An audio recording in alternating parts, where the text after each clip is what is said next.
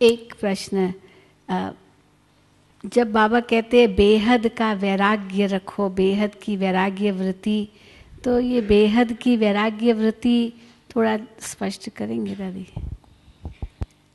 बेहद की वैराग वृत्ति माना किसी के तरफ़, आत्मा के तरफ़, पदार्थ के तरफ़ अटैचमेंट नहीं हो, आसक्ति नहीं हो। एकदम जैसे यूज़ भी करते हैं, जैसे दवाई ज़रूरी समझ करके यूज़ करती है, दवाई में कभी लगाव नहीं लगेगा। मजबूरी से ज़रूरी समझ के, आवश्यक समझ करके लेते हैं। तो ऐसे ही कोई भी पदार्थ या कोई भी आत्मा का संबंध, उस आकर्षण से, लगाव के आकर्षण से हमारे पास नहीं हो, न आत्मा, न पदार्थ, न कोई संस्कार।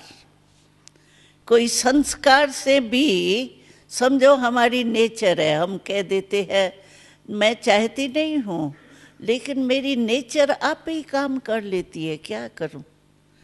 लेकिन नेचर है तो पुरानी ना।